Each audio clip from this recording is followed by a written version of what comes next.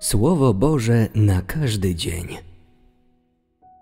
Ludzie od dawna wierzą w Boga, ale większość z nich nie rozumie słowa Bóg.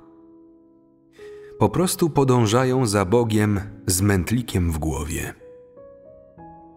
Nie mają pojęcia, dlaczego człowiek powinien w gruncie rzeczy wierzyć w Boga, ani też nie wiedzą, czym dokładnie jest Bóg. Jeśli ludzie wiedzą tylko, że mają wierzyć w Boga i podążać za Nim, ale nie wiedzą, kim jest Bóg, ani Go nie rozumieją, to czyż nie jest to największa farsa na świecie?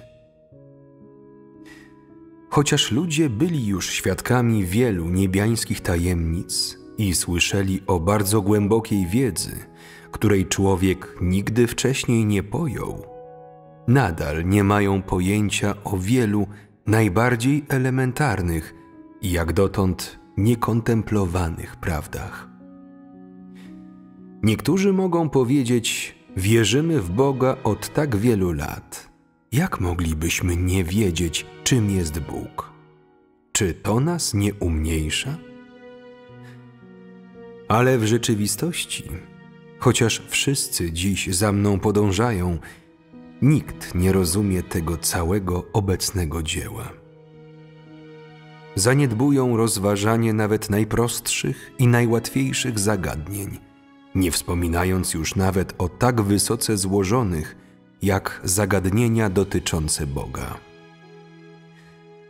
Powinieneś wiedzieć, że te zagadnienia, które odsuwasz na bok i których nie jesteś w stanie zgłębić, to właśnie te, których zrozumienie jest najważniejsze, bo wiesz tylko, jak podążać za tłumem, nie zwracając uwagi ani nie dbając o to, jak powinieneś się przygotować. Czy naprawdę wiesz, dlaczego powinieneś wierzyć w Boga? Czy naprawdę wiesz, czym jest Bóg? Czy naprawdę wiesz, czym jest człowiek? Jeśli nie rozumiesz tych rzeczy, będąc osobą, która wierzy w Boga, czy nie tracisz wówczas godności osoby wierzącej? Moja dzisiejsza praca polega na tym, aby ludzie zrozumieli swoją istotę. Zrozumieli wszystko, co robię i poznali prawdziwe oblicze Boga. Jest to końcowy akt mojego planu zarządzania, ostatniego etapu mojej pracy. Dlatego przekazuję Wam zawczasu wszystkie tajemnice życia, abyście wszyscy mogli przyjąć je ode mnie. Ponieważ jest to dzieło ostatniego wieku, muszę Wam wyjawić wszystkie prawdy życia, których nigdy wcześniej nie przyjmowaliście, nawet jeśli nie jesteście w stanie jeszcze ich przyswoić i znieść, ponieważ jesteście po prostu zbyt niedoskonali i niedostatecznie przygotowani. Pragnę zakończyć moje dzieło, wykonać całą niezbędną pracę – i przekazać Wam kompletne informacje na temat zadań, jakie mam dla Was do wykonania, abyście nie zbłądzili ponownie i nie ulegli podstępom, dając się nabrać na oszustwa złego, gdy zapadnie ciemność.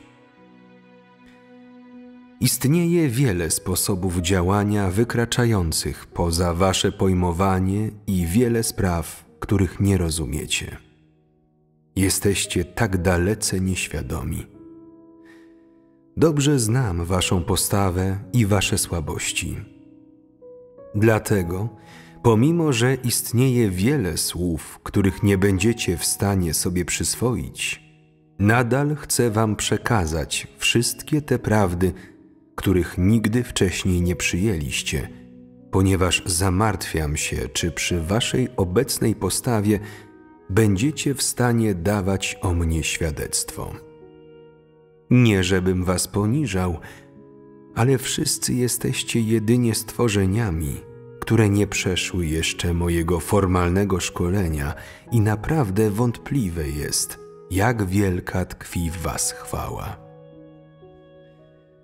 Chociaż włożyłem wiele wysiłku w pracę nad wami, wydaje się, że pozytywne elementy praktycznie w Was nie istnieją, podczas gdy te negatywne można łatwo zliczyć na palcach rąk i służą tylko jako świadectwa mające zawstydzić szatana.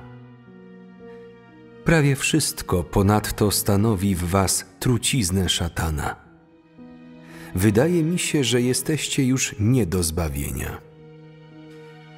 Przyglądam się przez pryzmat tego, jak się rzeczy mają, Waszym różnym postawom i temu, co przejawiacie, i nareszcie poznaję Waszą prawdziwą naturę. Dlatego ciągle się o Was martwię.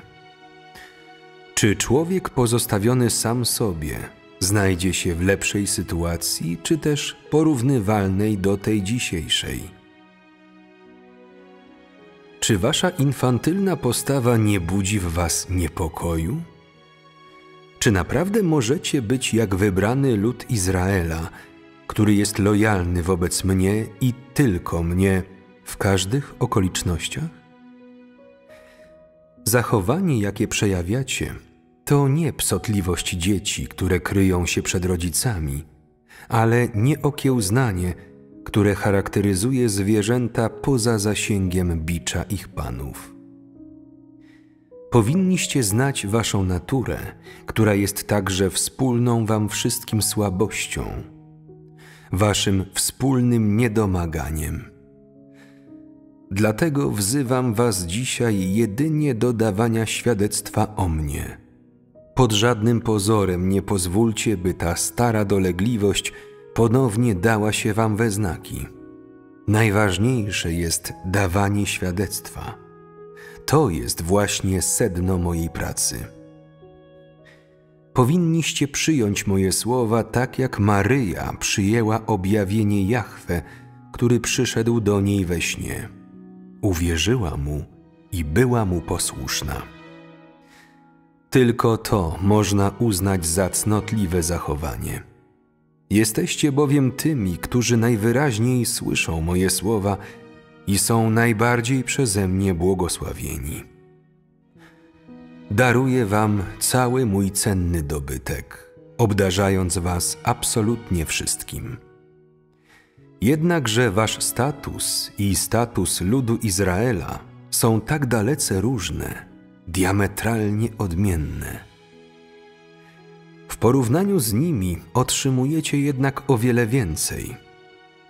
Podczas gdy oni desperacko wyczekują mojego ukazania się, wy spędzacie ze mną przyjemnie czas, korzystając z moich bogactw. W porównaniu, co daje wam prawo do marudzenia, sprzeczania się ze mną i żądania części moich dóbr? Czy nie dostajecie już wystarczająco dużo?